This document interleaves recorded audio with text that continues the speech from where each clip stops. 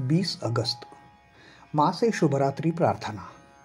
माँ, मैं हमेशा आपका प्यार और आपकी करुणा प्राप्त करूँ और मेरे सभी कार्य स्वस्थ और शक्ति देने वाले और किसी भी कमजोरियों से मुक्त हो।